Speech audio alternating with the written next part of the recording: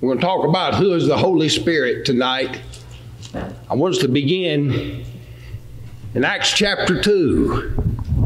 It's a very familiar passage. When the day of Pentecost was fully come, they were all with one accord in one place. And suddenly there came a sound from heaven as of a rushing mighty wind and filled all the house where they were sitting. And there appeared unto them cloven tongues like as of fire. And it set on each of them, and they were all filled with the Holy Ghost. Now that's the King James Version. I want you to notice it calls it the Holy Ghost. I'm going to get to that as we get on into this lesson, the, the ghost part of that. But we know what happened on that day of Pentecost. These men stood and began to preach in languages where people from, from all over the Roman world had come for the day of Pentecost and they heard them speak in their own language. And they wondered, what is going on? And Peter talked about Jesus Christ, the fulfillment of prophecy, the resurrection from the dead. We are witnesses of these things. And said, This explains what you now see and hear. That coming of the Holy Spirit in that manner was the evidence that what they were preaching was of God. Well, 3,000 were baptized that day. They were added to the church. And as they went home, they carried the gospel with them, and the apostles followed what the Lord said to preach the gospel in all the world. And the church came into being, and we are still preaching and extending that word to this day. Now, let me take you to the American colonies. And this is uh, before the Revolutionary War when we were still colonies. And many had come to New England early with great religious fervor, but we're about the third or fourth generation from them, and the religious fervor had greatly dropped. And then, seems like out of nowhere, people were having emotional responses to the preaching.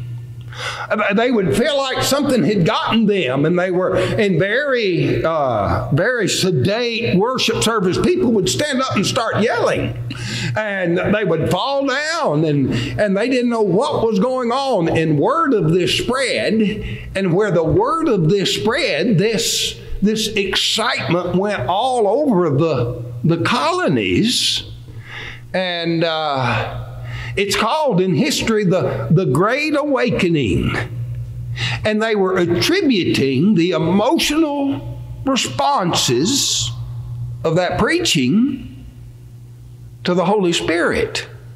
It's, it's one of the things that is that spread across the colonies, and people say a lot of the colonies were founded on religious principles, but this, this phenomenon cut all across all religious ideas, and everyone was together in this experience. And historians say that's one of the things that, that made the colonies think of themselves not as individual colonies, but as a nation and that later led to that idea we can unite and become our own nation. They say that was part of that influence. Okay, now let me take you to 1805.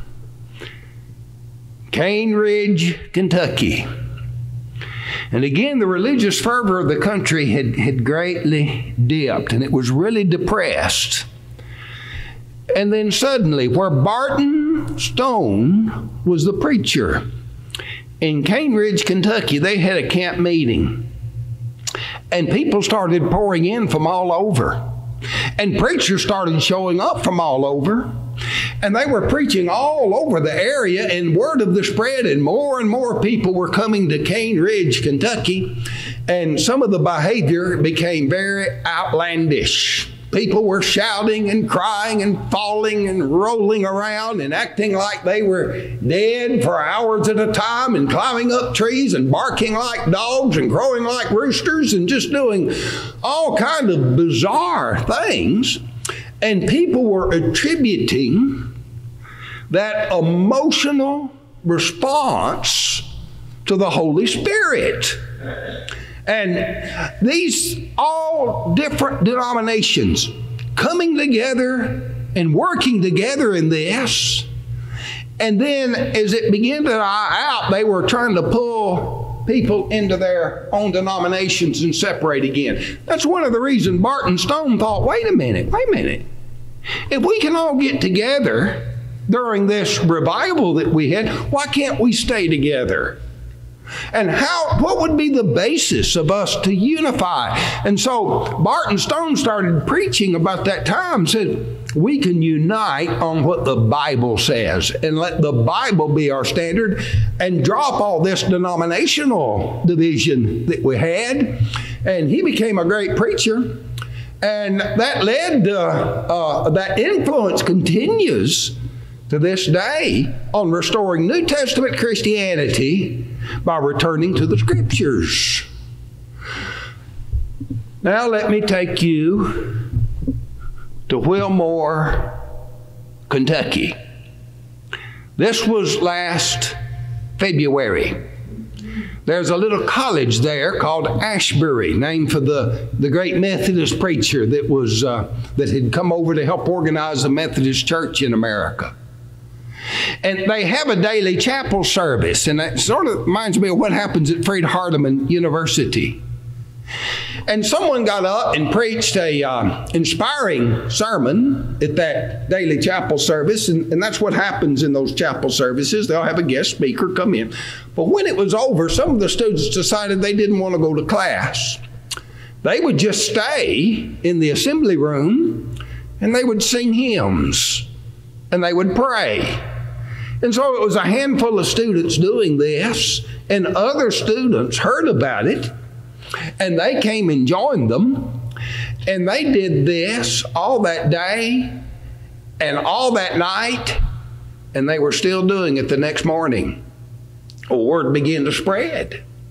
And other people decided, I want to see what's going on here. And people started coming to that Asbury University, to that particular assembly hall, and they said in the next two weeks, tens of thousands of people were gathering together at Asbury to sing and to pray and to testify.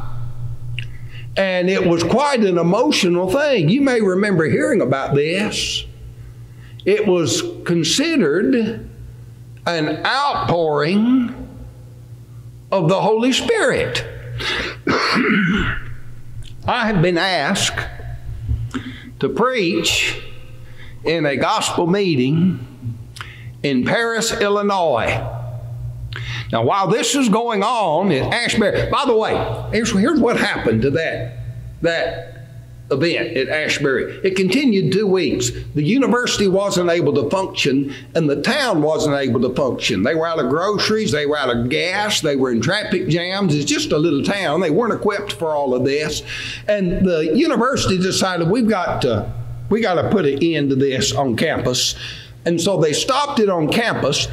A group moved off of campus and continued for another nine hours and then they they just wore out with it and it just disbanded and one of the things that bothered them was people started teaching and they were saying they were getting these words from the Holy Spirit, and the Holy Spirit wants me to say this, and the Holy Spirit, and this testimony. One man showed up in a wheelchair and got out and walked across the stage and said he just got healed by the Holy Spirit. And they were teaching different things. And one of the fellows that had organized this off campus, he explained it this way. He said, Well, the Spirit is moving in the lives of different people in different ways, and that explains the different teachings that people were giving.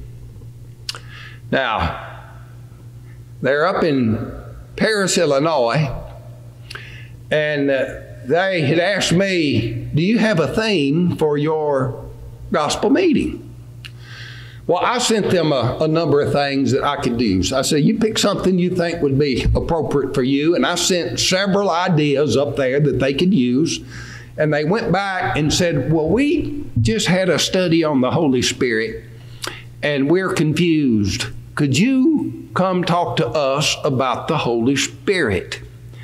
So this September, I'm going to go to Paris, Illinois, and right now I've got six times to preach. And I'm going to try to talk to them then about what the Bible teaches about the Holy Spirit. I'm going to use some of my Sunday nights to kind of help me get get ready for this. I went over a lot of this material. It must have been seven years ago when, when I did this, and I'm going to review some of that. So I'm going to start off this way for that Sunday school class. And I'm going to do this as though it's one long sermon. I, I don't know. I, will just preach till the time's up and I'll put a stop so we'll come back to this then, that next one, and just let it be one long sermon preached over at least uh, six or seven times. I'm thinking about doing this that Wednesday night at the end of the meeting, just let that be a question and answer time and ask people while I'm speaking. Now, if you've got questions about the Holy Spirit, write that down, and then I'll try to address those questions in that last night. Not because I know everything about it. I'm not. I'm not that way. But uh, I think I can help with some understanding. And a lot of the times, the questions that come up are, are very similar questions that I, I think I'm going to know the kinds of questions they would ask. And if they don't, then I've got my own questions. I'll just present my own questions and answer them and, and let the meeting end that way that Wednesday night. But I'm going to begin that Sunday school on who is the Holy Spirit. And that's one of the first things we've got to understand about the Holy Spirit. We're introduced to the Holy Spirit very early in the Scriptures. Genesis chapter 1 and verse 1 says, In the beginning, God created the heaven and the earth. Again, this is the King James Version. That is a very simple sentence. In the English, but when you start digging down and you start getting into the Hebrew language, there's a lot of depth in that very simple sentence. Let me give you an example. The kind of things you discover when you bore down into this. There's an untranslatable particle in that Hebrew verse. And I've got the particle up there. That first little letter in the yellow, it's in the beginning, God created the, now here's something, heaven, and the something, earth. Now, th- this can't be translated, it's not a word. Those two letters there are from the Hebrew alphabet. Now, now the Hebrew, I'm, I'm going to have to be careful not to get too far off subject. We write from, uh, from left to right. You know, when we're writing, left to right. Hebrew doesn't do that. Hebrew goes from right to left.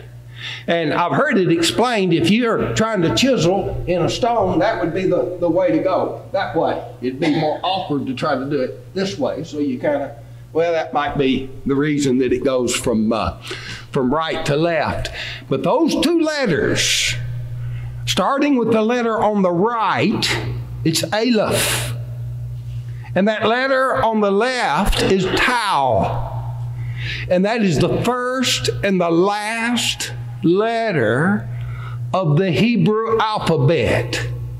It's not really a word, it's a tag of some sort to say, okay, this word, uh, you're tagging that word something. In the beginning, God created the, and then heaven is tagged, and then earth is tagged. Now, why they're tagged, I don't know, but but the fact that that is the first and the last letter of the Hebrew alphabet has led some to suggest that this means God created everything in the heavens and everything on the earth. And indeed, that's what Moses is later going to write when he's giving the Ten Commandments, God giving that to Moses, and says in Exodus chapter 20 and verse 11, In six days the Lord made heaven and earth and the sea and all that in them is. We might say all the way from A to Z. Now, let's go a little further something else that surprised me when I dug into this little first verse. In the beginning, God. It's singular in the English. In the Hebrew, the word is plural. Why would that be plural? Well, a lot of the time you would make a word plural to magnify the word, not because it's talking about many, but to say this is great, this is exalted, this is glorious. And so you use the plural to emphasize that. And the reason we know that it needs to be singular, translated instead of plural, is because the next word, created, in the Hebrew, is a singular verb. Now, when you have a singular verb, you need a singular subject. And so it's not intended to say there's many, many gods, but it's a great magnified God. However, the plural God acting singularly in created suggests a plurality in the Godhead. And that is later brought out in Genesis 1 in verse 26, where God said, Let us make man in our image after our likeness. Who is this plurality? Well, the first of this plurality that we're introduced to is the Spirit of God. The very next verse. The earth was without form and void, and darkness was upon the face of the deep, and the Spirit of God moved upon the face of the waters. Here's the first time we come across that word Spirit. It's a word that in the Greek, when the Greek uses that word in the New Testament, it's often translated ghost. Now, that might be good enough in 1611 to communicate the idea of that word, but it doesn't work very well for us today. And most modern translations are going to use the word spirit instead of ghost. Now, there is a word for ghost in the Greek. And you find it in Matthew 14, 26 and Mark 6 and verse 49. Two accounts of the same event where the apostles see Jesus walking on the water, and in the King James Version, they say, It is a spirit. Well, that's where they should have used the word ghost. The Greek word is phantasma, and I put that up there. And doesn't that sound like to you like the word phantom? It should, because that's where we get the word phantom from. But that's not a word ever used to refer to God. In John 4 and verse 24, where it says God is a spirit, it's a different word. It's the word pneuma. Now, you might be familiar with a pneumatic conveyor. You know what that is? You convey things by air, a pneumatic conveyor. It blows through the pipe and carries things with it. You're familiar with the word pneumonia. It has to do with your breath, doesn't it? That word pneuma means not just spirit, it's the same word with a different meaning. It also means wind or breath. And that's true in the Greek New Testament. That is also true in the Hebrew Old Testament for the word they use for spirit. When you think of the Spirit of God, instead of thinking of a ghost, you need to think of wind or breath God is a spirit. God's not a ghost. Now, come to Genesis 1 and verse 2 and think about that. And it's easy to imagine, isn't it? Easy to see the, the wind of God blowing across dark, cold waters, isn't it? But that's not the picture. Because it says the Spirit of God moved. And the word moved is a word of volition. The wind doesn't have volition, but God does. And though the translators did well to catch that, and translate that word spirit there instead of wind.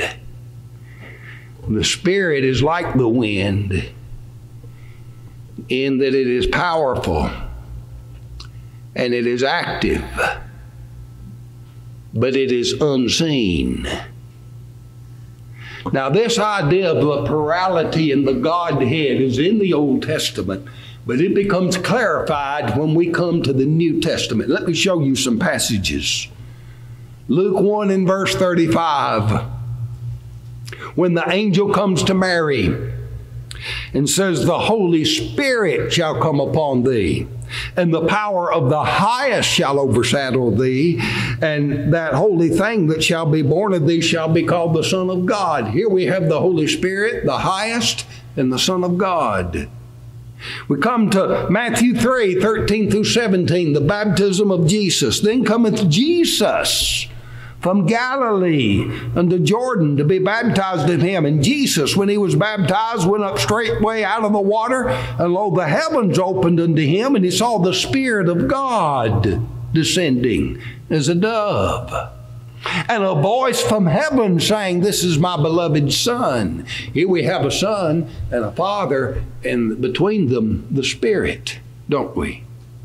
All right, let's look at John 16, 13 through 16, when it says, Jesus says, When He, the Spirit of truth, is come. But then he said, He'll guide you in all truth a little while, and you shall not see me, and again a little while, and you shall see me, because I go to the Father. You have the Son going to the Father, and the Spirit coming to the apostles, the three.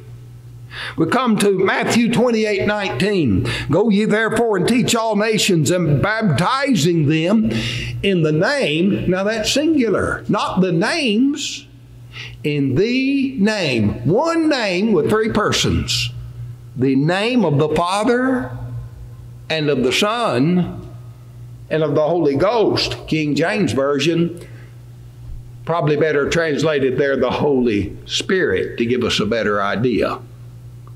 And then we come to Acts chapter 2, verses 33 through 36. And Peter preaches, Therefore, by the right hand of God exalted, and having received of the Father the promise of the Holy Ghost he has shed forth this which you now see and hear. David's not ascended into heavens, but he said himself, The Lord said unto my Lord, Sit thou on my right hand until I make thy foes thy footstool. Therefore let all the house of Israel know assuredly that God hath made this same Jesus, whom you've crucified, both Lord and Christ. We have the Father and the Spirit and the Son.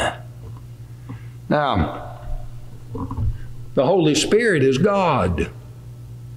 In all these references, he's spoken of God just as the Father spoken of God and just as the Son is spoken of God. And I think this is brought out so clear.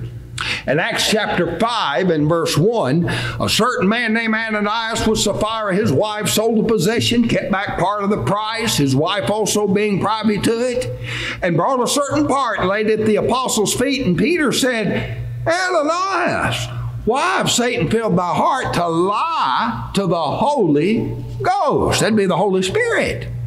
And to keep back part of the price of the land. The next verse. Whiles it remained, was it not thine own? And after it was sold, was it not in thine own power? Why have thou conceived this thing in thy heart? Thou hast not lied unto men, but unto God. When they lied to the Holy Spirit, they were lying unto God. Because the Holy Spirit is God. He has the nature of God. The pagans, their idea of God was many, many gods of, of various, various powers and various ranks, and the great God and the gods under them, and they're all in conflict and contending with one another. And you try to get on the good side of the God, on the winning side at the time, and that was the pagan theology. So different in the New Testament. One God, one divine nature. This nature this one divine nature is all powerful, all knowing, and eternal. And they are united in thought and in purpose and in action.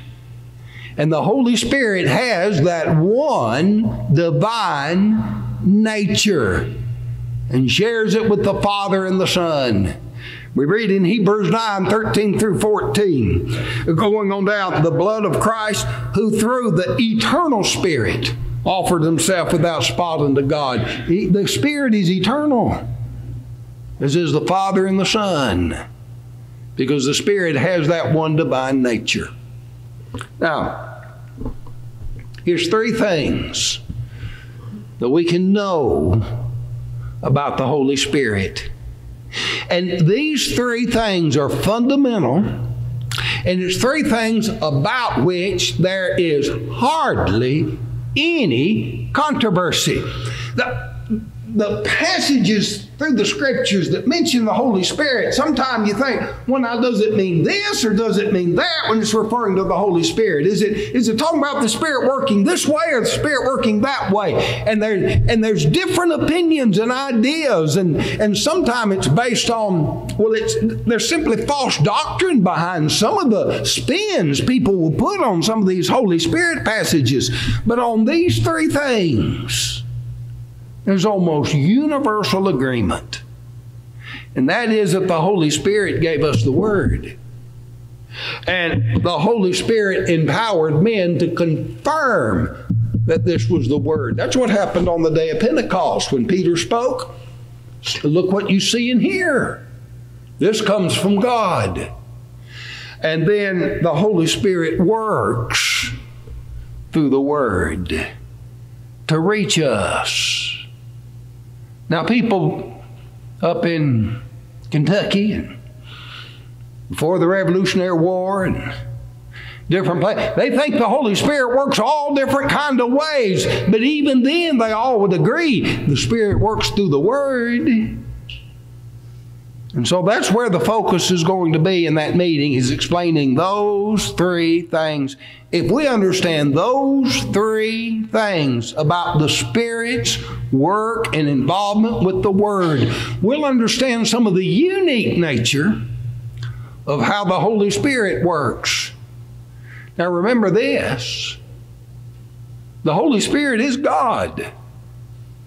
When God works, the Father is involved, and the Son is involved, and the Spirit is involved.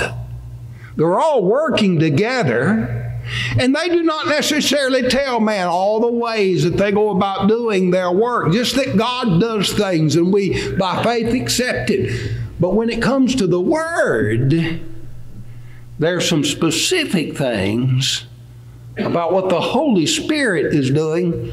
Ephesians 6 and verse 17.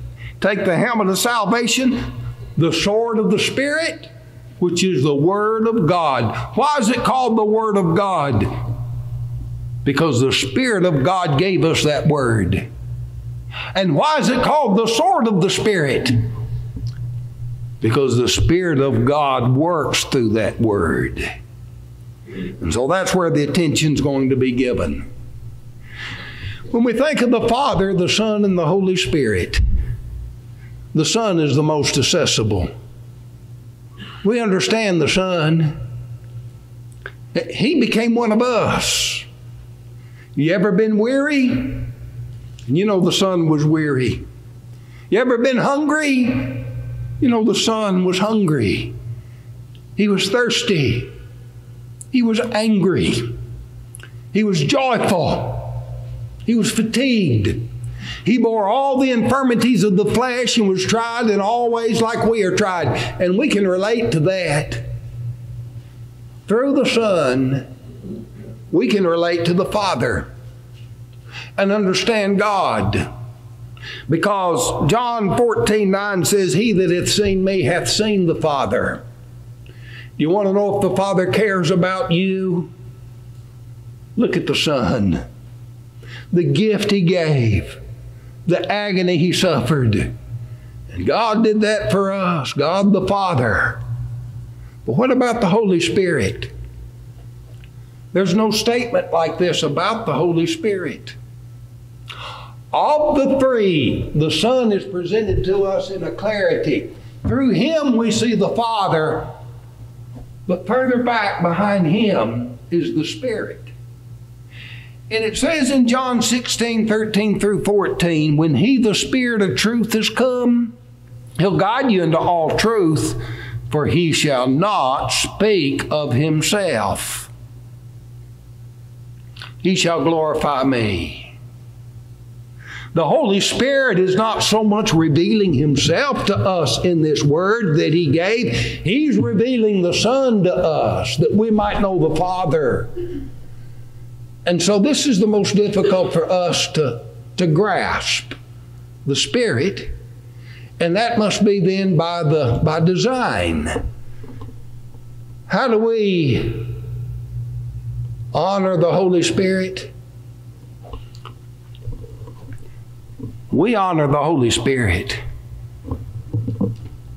by honoring what He told us about the Son. Jesus has become the author of eternal salvation to all them that obey him.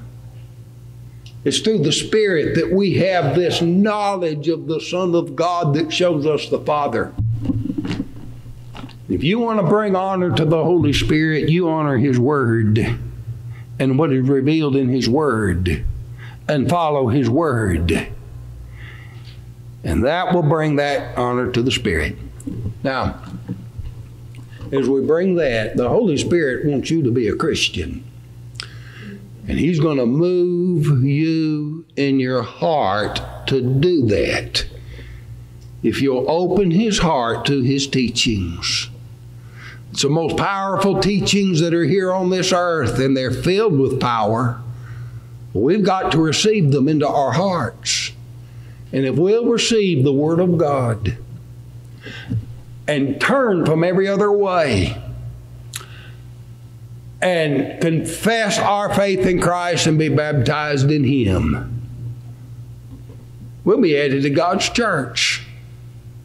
And that's what the Holy Spirit desires of us. If you need to respond to that invitation, then do it while we stand and sing.